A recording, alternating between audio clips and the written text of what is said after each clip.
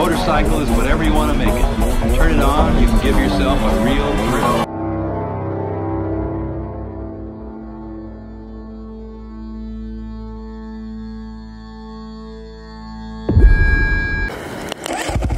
What's going on, guys? This is Carl, the RacerRed Channel.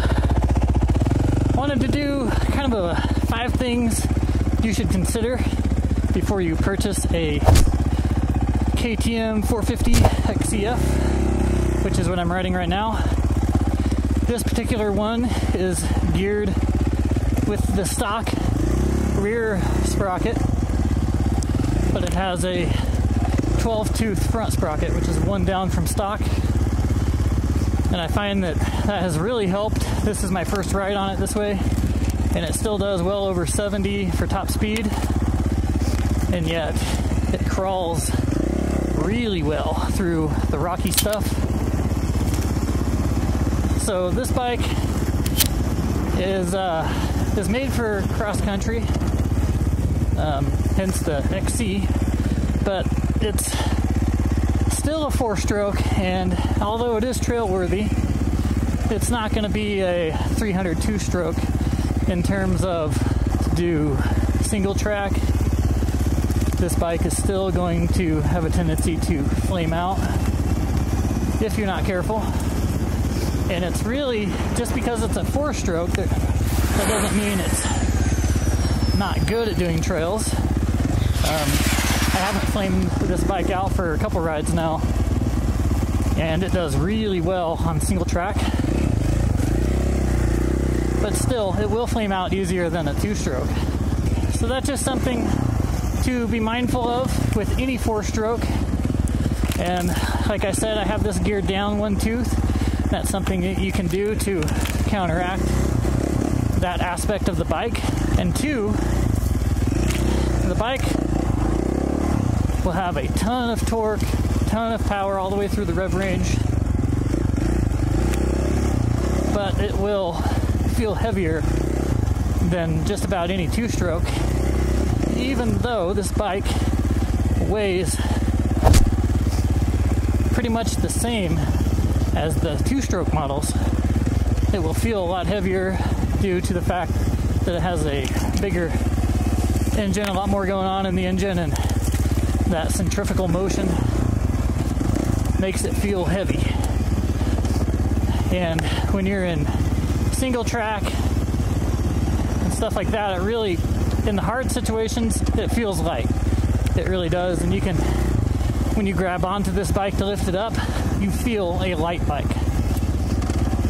But when you're riding it and using the engine, just the characteristics of that engine makes it feel heavier than uh, any two stroke will.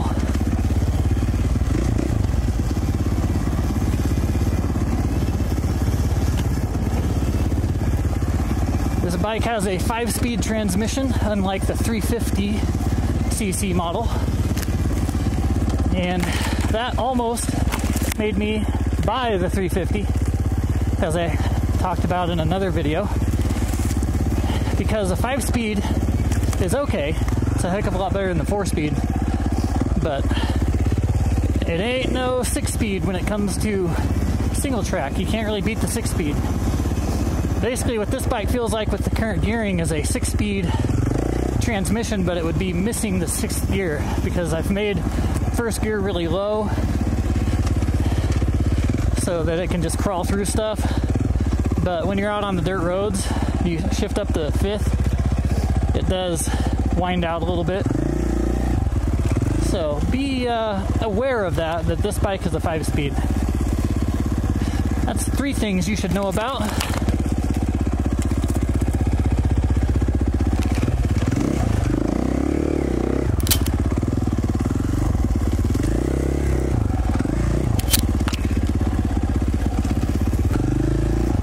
2017 model of this bike has an air fork. Be aware of that and just know that it's got its own setup. And I'm sure if you're looking at these bikes, you're already aware of that. So, anyways, yeah, this bike has an air fork.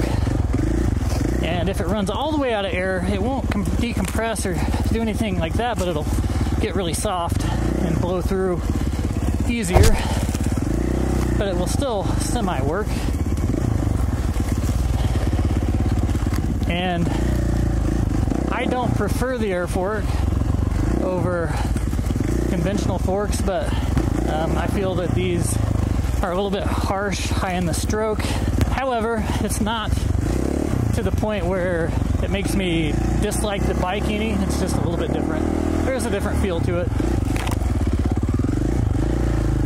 So I wouldn't say that's a negative or a positive. It's just one of those things that you have to be aware of.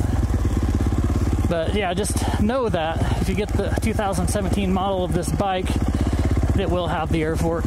And I don't know when they did away with the air fork.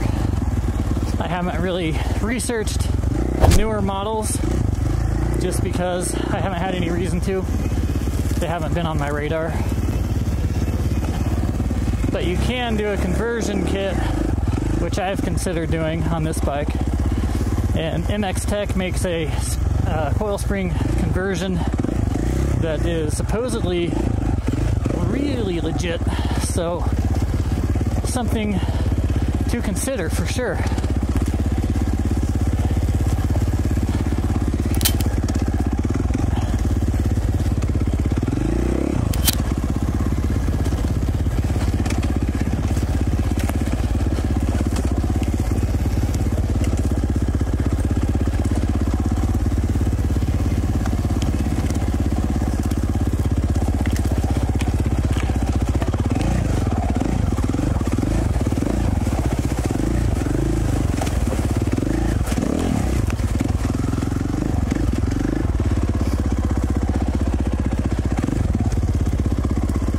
Another thing to keep in mind is this bike does not have a Kickstarter, and most four strokes don't. I don't know that any four strokes do anymore now that I'm thinking about this. They did away with the Kickstarters.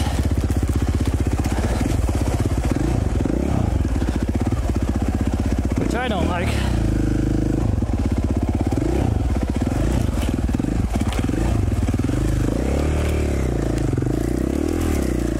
But it is what it is. So if you do hard enduro with this bike, you're constantly killing the bike and starting it. Ooh.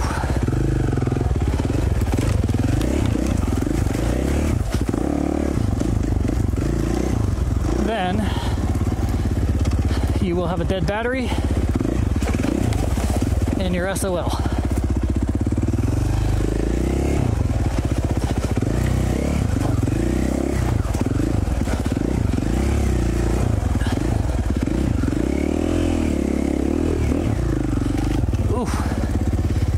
could have gone smoother. Got a little bit caught up in some rocks there. Get out of my face, dude. Good God.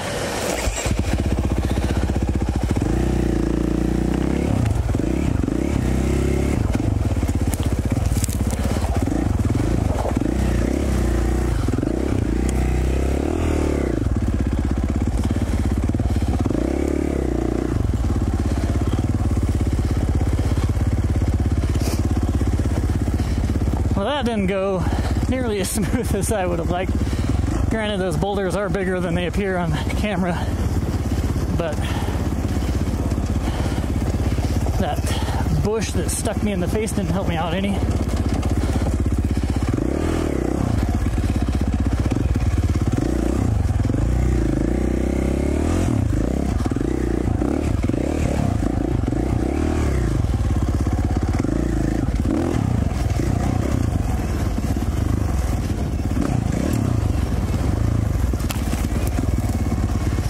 So that's five things you need to know about this bike. And granted, the Kickstarter one is not bike specific too much, but I really do prefer a Kickstarter on this.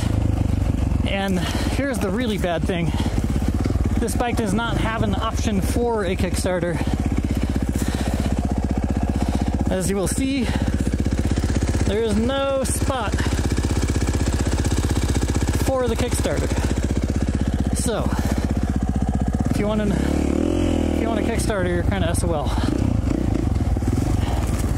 That's what's a little bit different about this bike when you compare it to others is that most bikes have a spot to put a Kickstarter if you so wish, or if you so choose, but this bike is like, nah, I don't need that crap.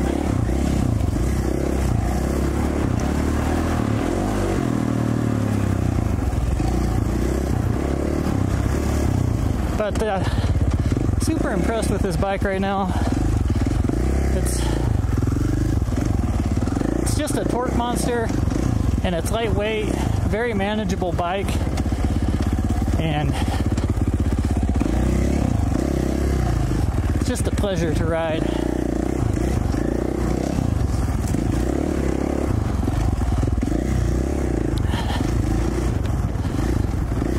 Makes 62 horsepower, which is a unbelievable number. And uh, you can definitely feel that this bike makes the two strokes feel like toys when you get on it. And then you go back to the two strokes, they just feel so docile in the low RPM range. Up on top, can really get those two strokes pumping power, but they are good at maximizing traction by putting minimal power to the ground at any given time.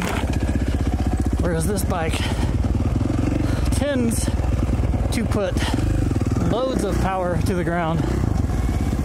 Um, and uh, a little clutch work can help you out big time there.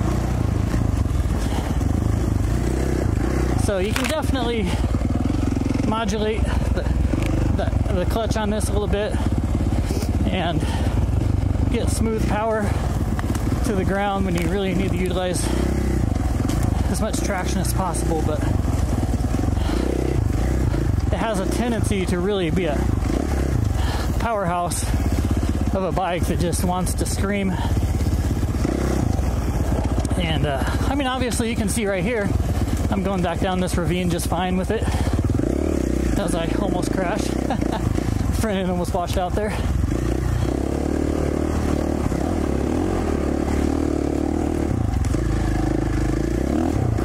But that's second gear. And I utilize second gear a lot for minimizing my tire slip. But then there's sections like this, I'll shift it down the first. And it just motors right through there, no problem.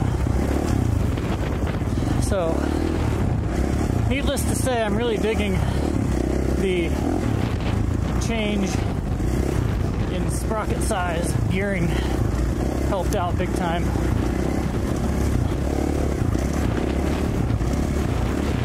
Coming up on a very tight switchback. This was not it, but it's the next one.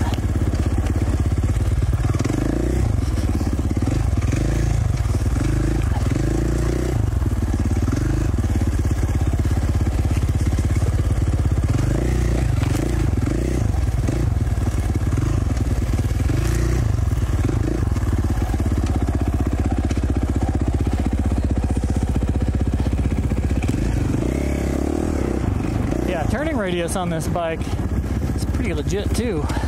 I was wrong. It was not the next one. It was this one.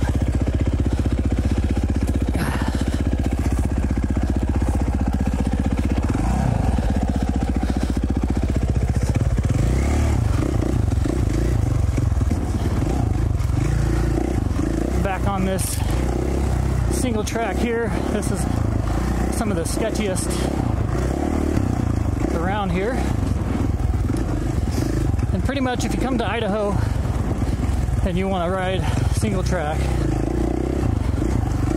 you're going to see a lot of stuff like this where you're really facing the issue of falling off of a pretty steep hill that you won't be able to get your bike back up, or you'll be actually free falling off of something. Definitely want to stay loose, especially in stuff like this.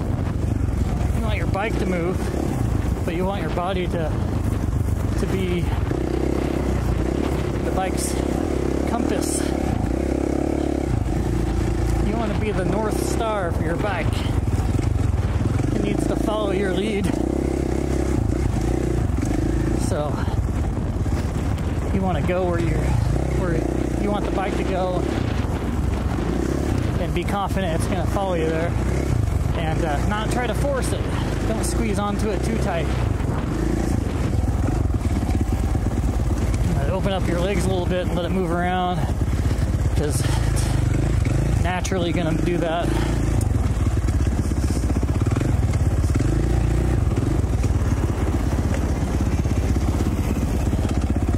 But in this situation right here, it's really important to have that rear brake set up good. Because uh, on a four stroke, you hit the rear brake at the wrong time and it really can screw you up. You, uh, if you stall the bike up here, you can fall off the edge pretty easily. And that is not what you want. So, yeah, set up that rear brake to where you're comfortable with it.